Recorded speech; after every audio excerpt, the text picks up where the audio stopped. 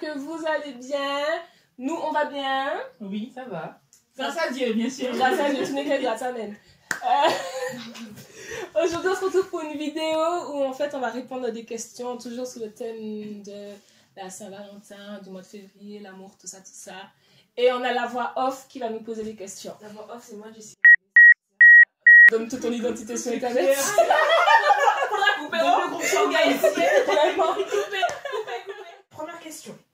Chercher l'amour ou attendre l'amour? Pose la question, c'est quoi chercher l'amour? Est-ce que chercher l'amour, ça veut dire que tu te réveilles le matin, tu dis bon, je m'habille pimpant et puis voilà. euh, je sais pas où chercher l'amour, genre je vais dans toutes les soirées, dans les réunions de prière, dans tout, pour rencontre et tout? des sites de rencontre pour chercher quelqu'un ou chercher l'amour, c'est quoi en fait? Mais c'est ça, c'est ce que tu dis, chercher l'amour, C'est. Ouais. Ah bah non, je le laisse me trouver. Ouais, je pense que je le laisse me trouver aussi. ouais, moi aussi, je le laisse me trouver. Bon après, je reste pas là non plus en mode passive, assise et j'attends que l'amour arrive tout seul. Ah. Mais Oui.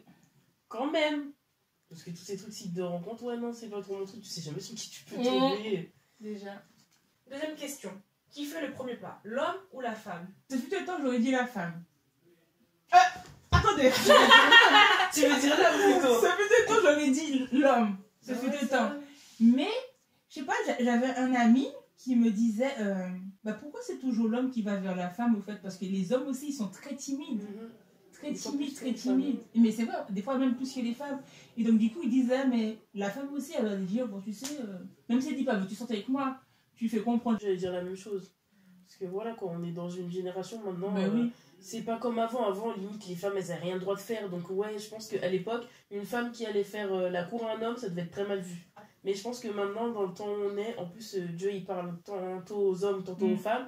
Si le Seigneur, il te dit, va lui parler, tu vas pas dire, Mm. non, mais en fait, euh, vu que c'est lui l'homme, j'attends que ce soit lui qui vienne. Parce que du coup, si tu fais ça, Dieu, il va te dire, ok, ok. Attends, Attends encore. Non, Pendant trois ans, là, tu vas attendre encore, on va voir qui c'est qui va aller parler à qui. Et toi, Caro? Moi, je dis c'est l'homme. C'est vrai pour Ouais, moi pour moi, c'est l'homme et que si de exemple, la génération school. ancienne. et que si par exemple la femme est intéressée par un homme, je te rejoins, elle, fait, elle peut le faire comprendre, Mais je trouve attention. pas que c'est elle qui doit aller lui dire. Non, mais j'ai bi- j'ai bien dit, elle va Ouais, pas c'est dire, je te rejoins, mais, moi Mais donc genre, le fais premier pas, c'est l'homme au final. Même si la femme l'entraîne à faire le Ouais. premier pas, Ouais. pour moi, c'est l'homme. Doit-on se laisser draguer? Euh, ça dépend ce que tu appelles draguer. Parce que, euh, bon, si c'est quelqu'un qui sait parler, qui vient, qui te dit bonjour, machin, petit à petit, il te fait comprendre, oui, tu sais, des petits compliments, genre, ah, t'es jolie t'habiller comme ça, ouais, ça me fait plaisir de te voir, ou des choses comme ça, ouais, comme ça, c'est cool. Mais si c'est dragué en mode lourdeau, tu viens et tout, tu mets déjà ton bras autour de mon épaule, alors que je sais même pas comment tu t'appelles, je sais même pas d'où tu sors, ou tu commences à être un peu trop, Tactile. regarder, voilà, tactile, et puis tu sais, les regards aussi, parce que t'en as certains, vos regards là. vos regards. Regarde mal. Vos regards Oh là. là là, les regards de la tête aux pieds. Ah ouais. Et tu sais, ceux qui se mordent les lèvres. Faut arrêter. Oh non, Dieu Arrêtez. C'est la honte Oh, Ouais, dégueulasse. Vous, vous allez vous faire recaler tout de suite. Mm. Après, moi, je trouve que draguer, c'est un grand mot. Mm. C'est un. Je sais pas. Moi, j'aurais plutôt dire aborder, mais bon, c'est draguer, bref. Ouais, parce que je pense qu'il y a quand même une différence entre aborder Aborder et draguer. draguer, ouais, c'est ça. Aborder, je pense que tu viens déjà avec une, Un autre euh, esprit, voilà, je pense. Un, un esprit où tu te dis, ben, la personne me plaît et j'ai envie de faire les choses bien. Parce que, ouais. Quand tu dis draguer, Pour moi, draguer, c'est que c'est pas sérieux, au fait. ouais, et puis t'es déjà dans la séduction. Aborder, t'es. Voilà. Mm. Tu vois, draguer en mode, euh, Hmm, pas mal. euh. Alors que tu connais C'est pour ça que Voilà, j'ai- c'est ça. Ouais. j'ai du mal avec le mot draguer. Donc aborder. aborder, Ouais, je préfère plutôt. aborder. Si tu m'abordes, oui, je me laisse aborder, frère. Voilà. Plus maintenant, mais. euh, Oui, oui, oui, parce que là. Oui, maintenant. euh. C'est vrai. Oui, euh, la voix off, c'est pas encore le cas, donc euh, de toute façon, elle vous a donné déjà toutes ces infos. Alors, Quatrième question. Présentation de la famille fille ou garçon avant ou qu'importe Tu veux oublier, c'était quoi la question En gros, est-ce que euh, c'est la Je fille pense qui- qu'il qui faut présente présenter la fille. Il faut que. que Que. la fille présente Le- d'abord sa famille, donc que la fille présente d'abord son mari à, À sa famille et ensuite après. le gars qui voilà. présente sa fiancée à sa famille. Voilà, je pense que c'est de ce sens. Pour Bah moi. alors, du coup, si c'est dans ce sens-là, j'ai rien respecté. Non, c'est pas pour moi, c'est de ce sens-là parce que mon mari, bah, du coup, vu qu'il venait me voir à la maison, Mm. donc du coup c'était automatique parce que moi j'allais pas chez lui en fait. Pour moi, euh, je suis pas mariée avec toi, je vais pas chez toi. Donc, donc, du coup, s'il voulait me voir, il venait À la maison chez maman. Euh, Donc c'était obligé qu'ils connaissent euh, les parents avant. Euh, donc du coup, euh, moi je sais pas trop parce que perso, moi j'ai rien respecté. J'ai rencontré l'oncle et la tante de mon mari et tous ses cousins avant de rencontrer ses parents. Et, et pour dire quel point on a poussé, c'est que les parents, on les a rencontrés pour le mariage. donc c'est archi chaud. Et ça ne me jugez pas. Vous étiez ensemble quand j'ai rencontré les parents, Non, Euh, ouais, ouais. bah, du coup non. faire le mariage ça faisait déjà Après, presque deux ans. différent. Ça faisait déjà presque deux ans. Après, il faut dire que les parents sont euh, n'étaient pas euh, sur place, donc c'était un peu compliqué. Et euh, lui, il a rencontré mes parents du coup bien avant le mariage. Après, euh, est-ce qu'il faut commencer d'abord par la famille de la fille ou du gars? Ouais, je sais pas. Du coup, ça s'adapte à chaque situation. Voilà. Ouais, Donc, Ah ouais, limite, ça on peut dire qu'importe. Ouais. ouais, Ça s'adapte à la situation, on sait pas comment c'est au fait. Et Ouais. toi Ah, qu'importe. c'est ça. Mais il faut quand même qu'il y en ait un qui lance ça. Oui, faut Parce pas que, être trop euh, longtemps. euh, Faut pas trop, parce que Voilà. après ça devient du flirt au fait, et le flirt Oui. c'est un- c'est un peu dangereux. Voilà, et puis même les parents, ça risque de les. Ils vont Contrarier, dire, euh, ouais, ils vont dire c'est pas sérieux. Ouais. Parler de mariage avant ou après la présentation de la famille? Bah, je pense que entre les deux personnes concernées, elles peuvent en parler d'abord à- entre elles pour être sûr déjà qu'elles veulent les mêmes choses. Voilà. Parce que si déjà elles parlent pas de mariage, puis après elles rencontrent les parents, ça parle de mariage, il y en a un qui Mm. commence à tourner de l'œil, c'est compliqué. Surtout que pour moi, quand tu te mets avec une personne, tu dois d'abord lui parler. Enfin, vous devez être sûr que vous voyez les choses de la même façon. Ouais.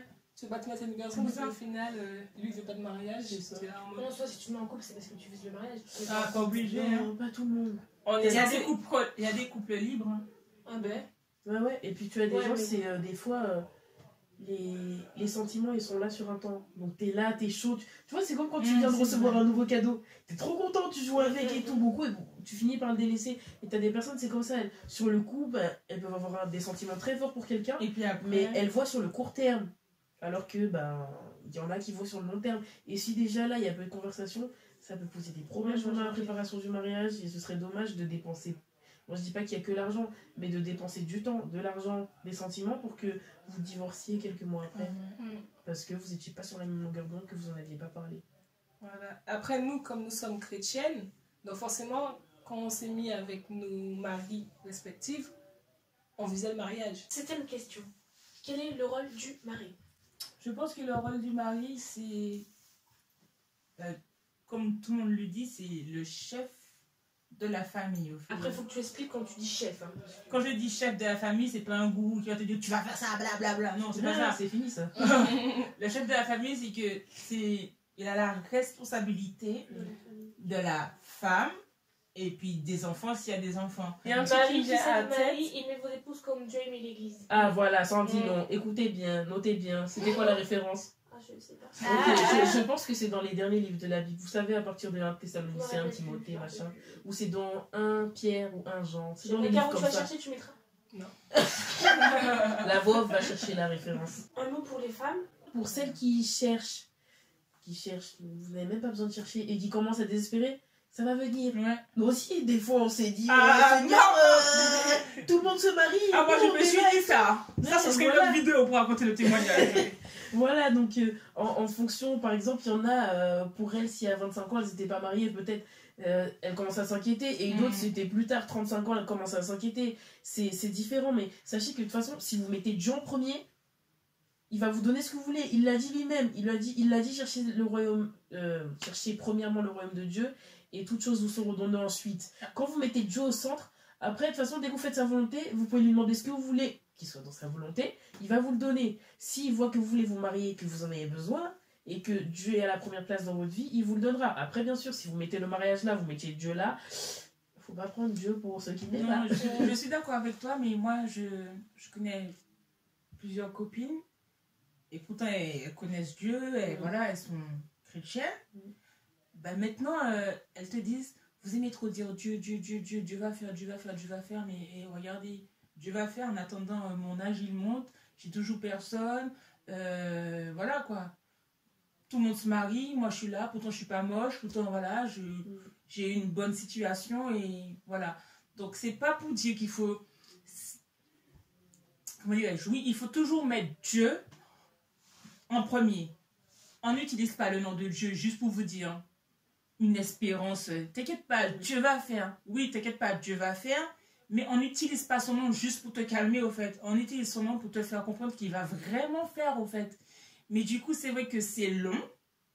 Mais si tu dois te marier, si tu dois avoir quelqu'un, t'inquiète pas que tu auras la personne. Moi, j'ai attendu longtemps. Moi, je le dis vraiment, j'ai attendu longtemps. C'était chaud pour moi. Je me dis, mais punaise. Et du coup, regardez, je suis mariée et je suis super contente. Et je me rappelle même plus le temps où, où voilà, je me disais, mais punaise, mes copines se marient, punaise, nanana, nanana, nanana. Mais c'est vraiment parce que moi, je me suis dit, bon, Seigneur, stop, c'est bon, c'est fini. J'écoute plus personne, je vis ma vie. Et quand j'ai commencé à dire que je vis ma vie, bien sûr dans le respect avec Dieu et Mhm. tout, moi je m'occupe plus de copain par copain, voilà. Ah ben, il est arrivé flan comme ça sur un plateau d'or, tu vois. et donc du coup, je me suis dit, waouh, au fait. Donc, euh, c'est pas qu'on va le dire Dieu, Dieu, Dieu. C'est vraiment qu'on utilise le nom de Dieu parce que c'est la vérité. Si tu t'attends à lui, tu vas recevoir. C'est un truc de ouf, mais tu vas recevoir. Et pour les femmes mariées, femmes, aimez vos maris et priez pour eux. Surtout priez pour eux. Parce que les hommes, ils sont pas forcément fiers, mais après, euh, il y a des hommes qui, sont, qui ont plus de facilité à exprimer ce qu'ils ressentent, mais ils sont pas trop du genre à venir pleurer sur vos épaules et dire ceci, prie pour moi, parce que non. Des fois, euh, il faut que ce soit vous d'instinct, tous les jours, priez pour vos maris. La femme est importante. hein. Ben, hein, pourquoi le Seigneur a mis les femmes Attends, il y a un passage biblique destiné à la femme. Attends, la femme, ok, le mari c'est le chef, mais j'ai envie de te dire que la femme elle a une place maman Parce que- Voilà, donc ouais, femmes, priez pour vos maris, aimez-les, élevez-les. Quand je dis élevez-les, euh, vous n'avez pas besoin non plus de vouer un culte à vos maris, mais euh, quand même, c'est le chef de famille. Montrez-lui quand même que c'est un homme. Et c'est quelqu'un. C'est Voilà, ouais, voilà. Montrez-lui que quand même vous respectez sa place. Euh, vous n'êtes pas obligé tout le temps de le rabaisser ou des choses comme ça. Voilà, faites-leur des petits compliments. Les hommes, ils aiment bien qu'on les flatte. Voilà, dès qu'ils font un petit truc pour vous, Soyez fan de voilà, dès qu'ils font un petit truc pour vous, faites pas genre en mode heure, t'as fait ça, de toute façon moi je le fais tous les jours. Faites Non. la vie, quoi. Non, voilà, vous dites, t'as fait T'arrives ça pas à pour ouvrir moi, un t'es vocal. Ouais. On sait qu'il- On sait qu'il y a des gars qui vont regarder cette vidéo, mais vous savez qu'on a raison de toute façon parce qu'on vous connaît et on est mariés. Donc, eux, c'est ce qui se passe chez nous. Mais voilà, euh, surtout, euh, ouais, parce que l'homme, c'est le chef de famille, mais je pense que la femme, c'est vraiment la personne que Dieu a établie dans la famille pour prier pour son époux et pour ses enfants à venir ou les enfants actuels. les gars, tellement. Voilà, parce que peut-être que c'est l'homme qu'on voit. Dès qu'on voit la famille, la première personne qu'on va regarder, c'est la femme, c'est l'homme. Mais Dieu, dans la, hum, dans la, comment dire, ça- comment dire ça, dans l'intimité, vous savez même pas combien il y a de femmes qui intercèdent tous les jours pour leur mari et Dieu garde les maris parce que les femmes se tiennent à la brèche pour Mm. eux. Donc, Marie, déjà, ayez un peu de reconnaissance, premièrement. Et ensuite, ouais, les femmes, c'est pas parce que je dis ça qu'il faut prendre la confiance, mais euh, persévérer dans ce chemin-là. Après, c'est vrai qu'il y en a, peut-être vous êtes mariés avec des inconvertis, peut-être que c'est dur, Mm. peut-être que certaines vous êtes mariés avec des, des maris qui vous rendent la vie dure, ou alors peut-être certaines que vous avez vrai, des vrai. maris qui sont super gentils, mais qui, qui, avec qui vous aimeriez partager plus de choses, mais ils ont du mal à parler. Priez pour ça, dites à Dieu ce que vous avez sur le cœur. On vous invite à lire le Proverbe 31. C'est ça, hein? Qui Ouais, parle la de femme vertueuse. Ouais, ouais, ouais, devenez comme le proverbe 20, euh, 31. Magnifique passage pour la femme, je trouve. N'oubliez pas de liker et de commenter, de nous donner vos avis. On se dit à la prochaine pour une nouvelle vidéo. Soyez Bye. bénis. Soyez bénis.